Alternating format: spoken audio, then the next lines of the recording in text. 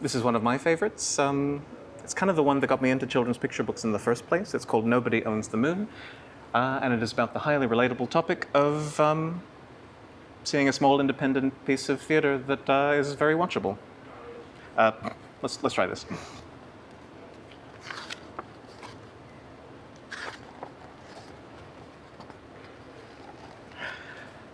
The fox is one of the only wild creatures in the world that can successfully make a life for itself in cities. This is because it is quick witted and able to eat a variety of foods.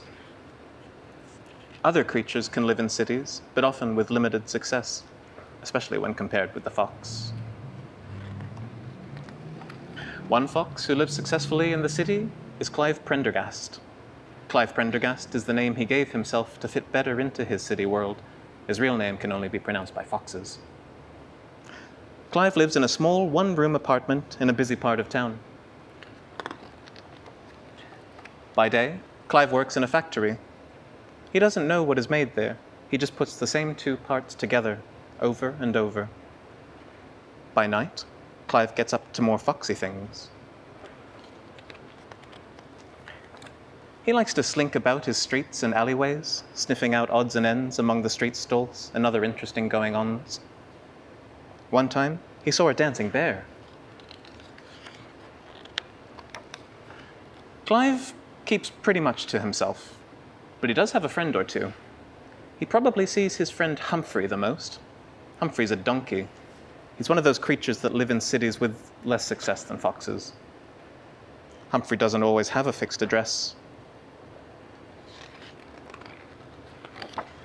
He's had the odd job, but he hasn't kept it for long. His most recent job was as a piano removalist.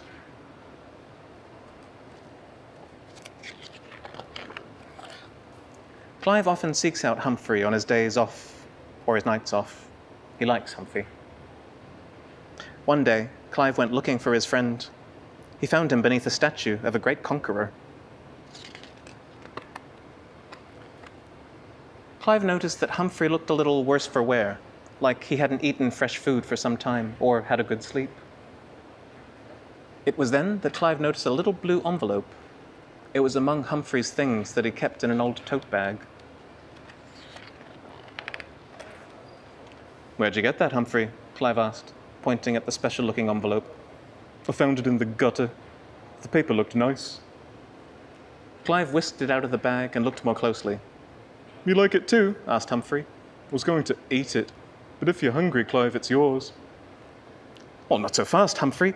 This is no ordinary envelope. There are two tickets to the theatre inside, and the show's tonight. Is that so? And I say we go, said Clive. Gosh, said Humphrey. That night, Humphrey and Clive attended the premiere of Nobody Owns the Moon, the latest play by the city's most celebrated playwright.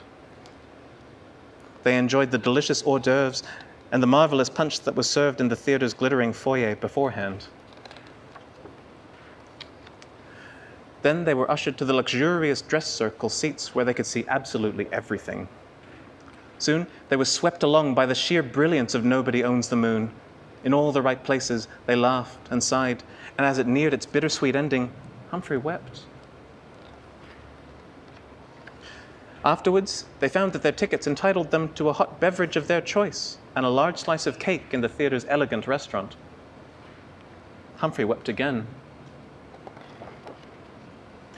And that night, as Clive and Humphrey sauntered away, off into the glimmering melee of lights and sounds that was their city at night, they said to each other, This is our town.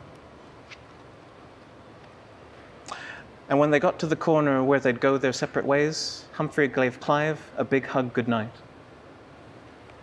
The end. Thanks, you all.